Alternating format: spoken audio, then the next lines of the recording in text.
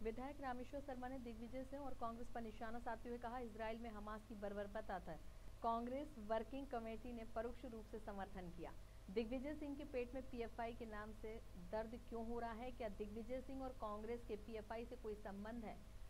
उन्होंने कहा, खड़के सोनिया और प्रियंका गांधी से आज मांग करते हैं, या तो दिग्विजय सिंह माफ़ी मांगे या फिर उन्हें पार्टी से निष्कासित करें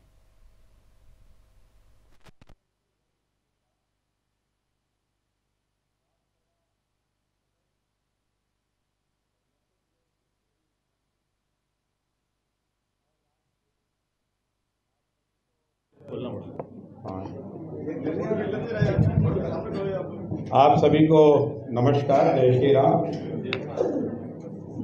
वैसे तो हम आप किसी न किसी मौके पर मिलते ही रहते हैं। लेकिन एक खास वजह ये भी है कि कांग्रेस के वरिष्ठ नेता,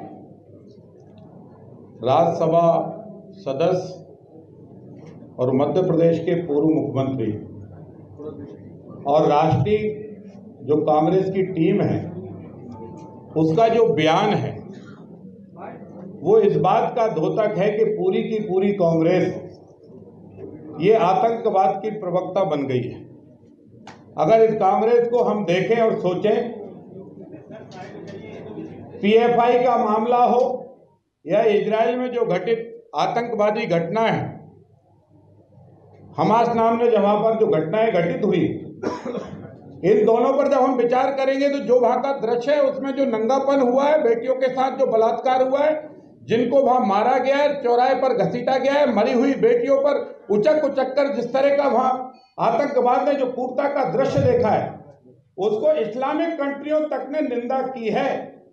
लेकिन दुर्भाग्य की बात है कि कांग्रेस की टीम ने, कांग्रेस की वर्किंग कमेटी ने इसकी निंदा नहीं की।